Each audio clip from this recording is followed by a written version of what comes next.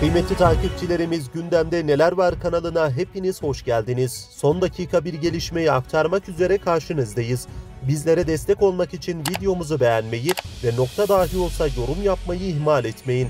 Destekleriniz için teşekkür eder, iyi seyirler dileriz. Değerli izleyenler, Pakistan Türkiye'nin sınırını vurdu. Değerli izleyenler bildiğiniz gibi Suriye'deki iç savaştan bu yana Türkiye askeri varlığını Suriye'de devam ettiriyor. Sınırımızda terör devleti kurdurmamak için ve Suriye'de yaşayan mazlumların sesi olmak için Türk askeri Suriye'de varlığını devam ettiriyor. Bilindiği gibi İdlib kırsalında Türkiye'ye yakın sınır bölgesinde Pakistan uyruklu vatandaşlar yaşıyor. PKK, KCK, PYD terör örgütleri sivilleri zorla silah altına ararak terör örgütüne katılmaya mecbur bırakıyor.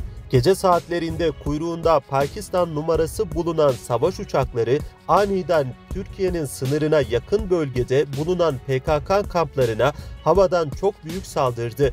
8 kere füzeyle vuruldu. Alınılan gayrimeşru bilgilere göre saldırıda 26 PKK mensubu öldürüldü. Değerli izleyenler haberimizin sonuna geldik. Bir sonraki haberimizde tekrar bir araya gelmek ümidiyle şimdilik hoşçakalın.